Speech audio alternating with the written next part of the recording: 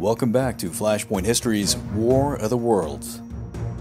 This is episode 8 The Almohads. In our last episode, we talked about the fractured mess of Al Andalus after the fall of the Umayyad Caliphate. How these states, in desperation of being taken over by the Christian kingdoms of the north, invited in the Almoravids of North Africa as we left off in the narrative, eventually the Almoravids were brought down by a combination of uprisings, the increasing strength of kingdoms like Castile, Aragon, and Portugal, and were finally driven from their home in Morocco by a newer, more powerful, and more religiously orthodox faction that was bent on their destruction. In this episode, we're going to see how the Iberian Peninsula in the crusading era became a ferocious battleground once again especially as more militant and religiously fundamental views became firmly entwined on both Christian and Muslim sides.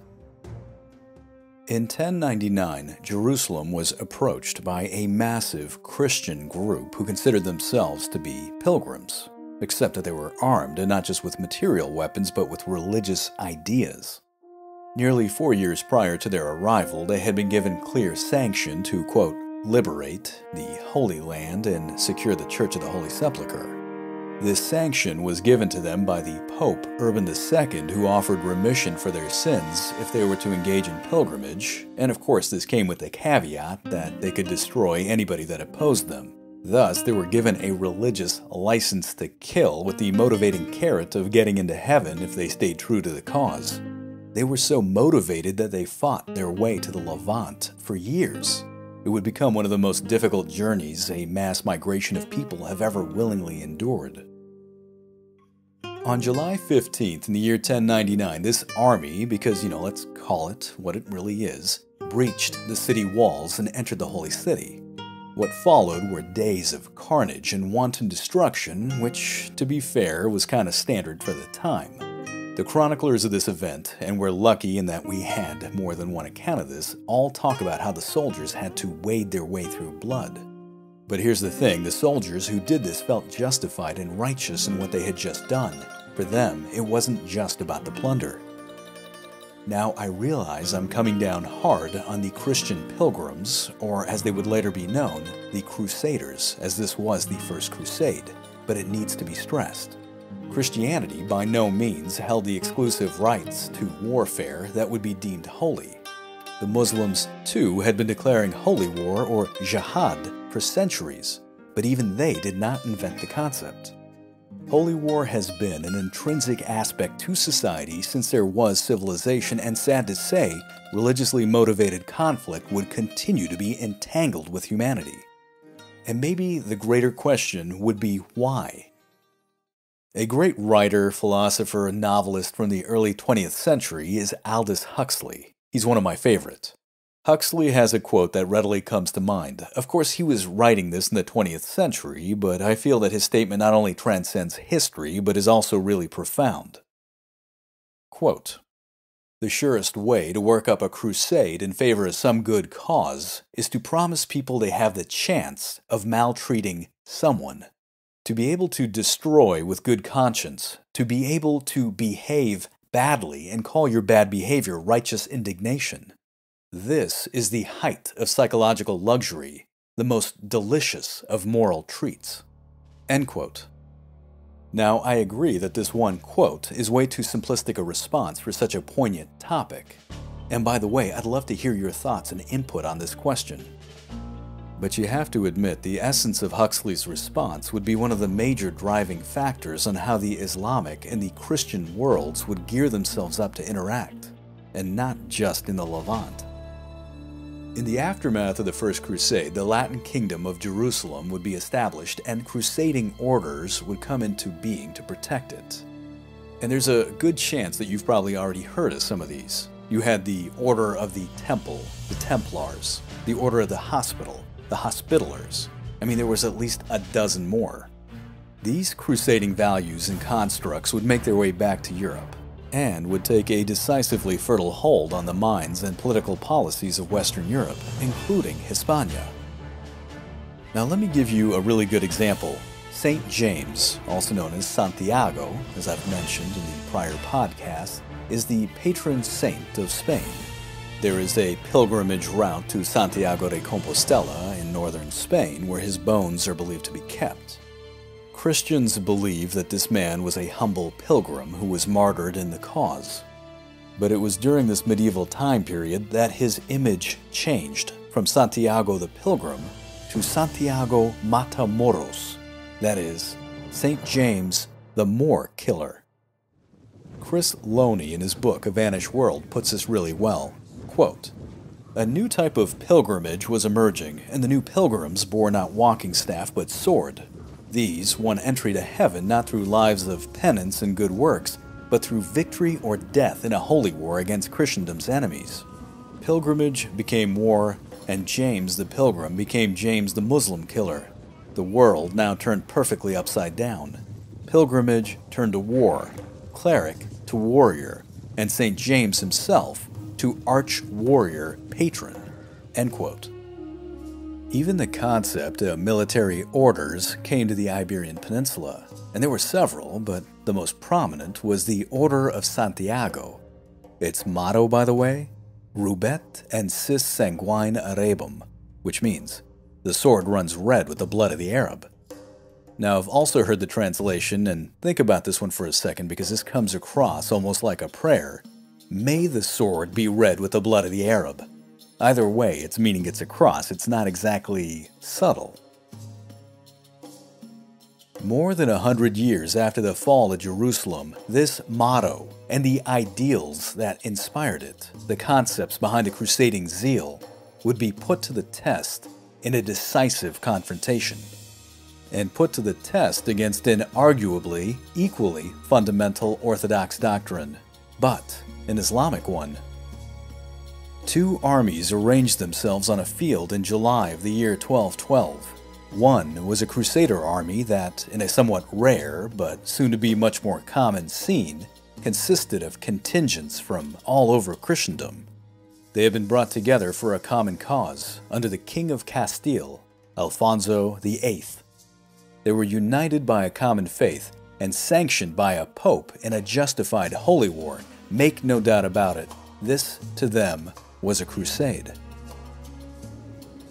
And on the other end of the field was a relatively new player to the scene, an Islamic group who had grown immensely powerful. In their rise to power, they grew to dominate North Africa, a large swathe of southern Spain, and in the process had laid waste to entire Christian as well as other Muslim armies.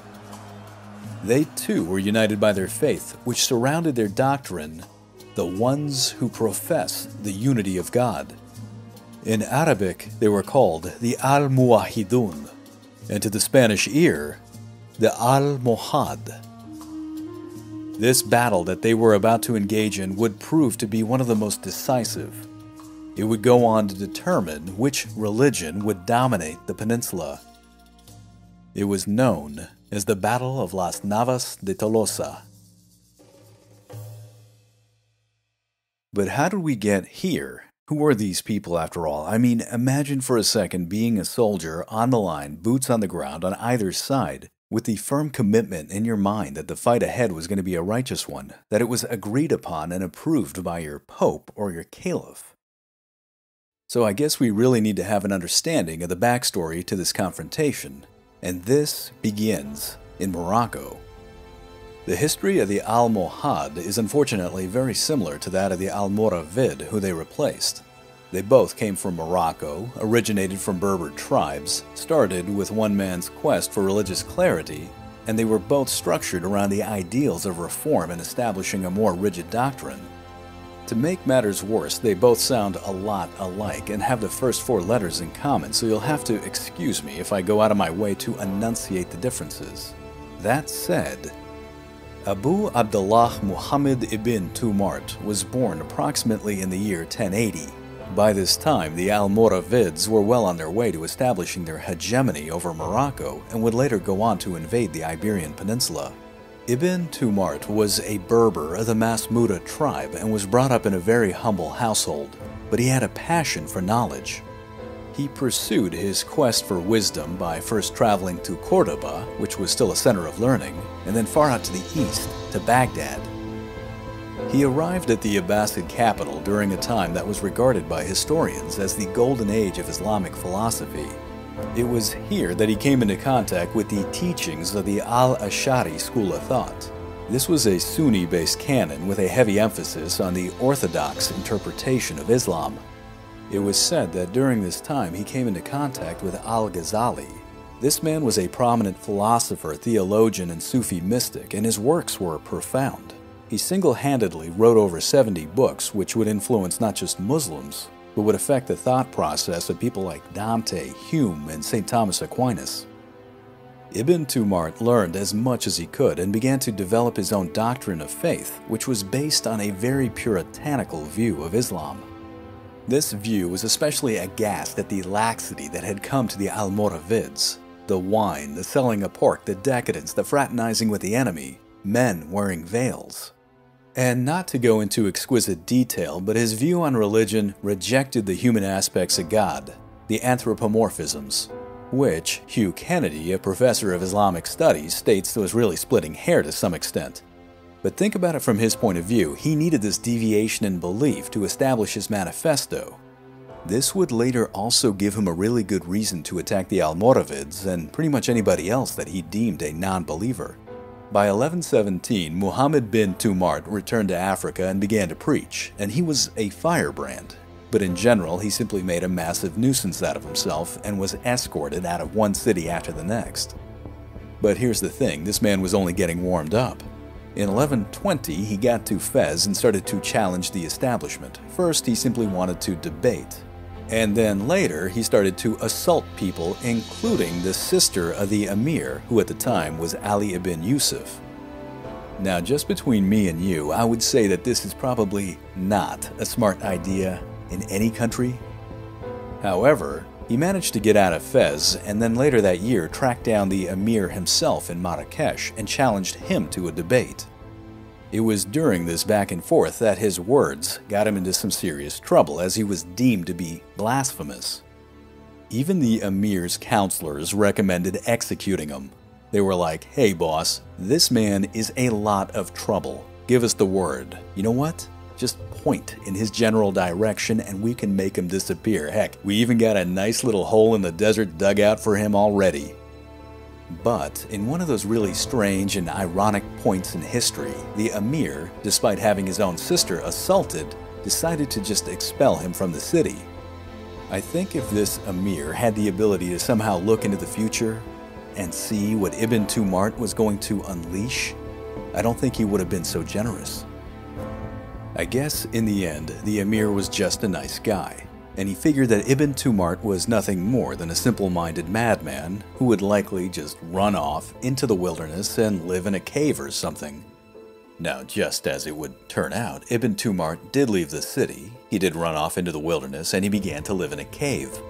But he continued to preach as well. His doctrine began to really catch on, and followers and money began to pour in. In 1121, he gave an especially powerful speech and during the speech he proclaimed himself the Mahdi. The term Mahdi has several different meanings. The word itself has been more developed in Sunni than in Shia Islam. Literally, it means guided one, but it implies a divine guidance, hence one who is a type of redeemer. In Sunni Islam, it also has a connotation of one who will come at the end of times to reestablish righteousness. Thus, if you call yourself the Mahdi, you have to feel like you're on a mission. And I can tell you without hesitation, this man was. His message spread, and by 1124, Ibn Tumart was able to set up his base in Tinmal, which is in the high Atlas Mountains of Morocco. He went from being a preacher to an organizer of the members of his movement, and he gave them a name. Those who proclaim the unity of God, the Al-Muwahidun. Thus, the Almohad came into being. For the next several years, the Almohad had to run a guerrilla operation out of the mountains. They hit Almoravid supply convoys, depots, and the vulnerable mountain passes, especially the one that connected Marrakesh with the city of Sijilmassa. This was the northern hub of the sub-Saharan gold trade, so if you're going to hit anything, hit that. In time, an organized government structure developed, with an inner circle called the Assembly of Ten and a second tier called the Council of Fifty.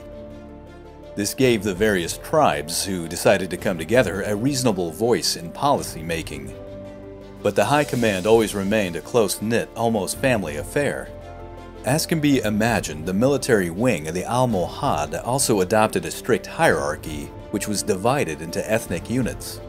The bottom line was that you had a very effective system, and the stage was set for expansion. All that was needed was an aggressive leader.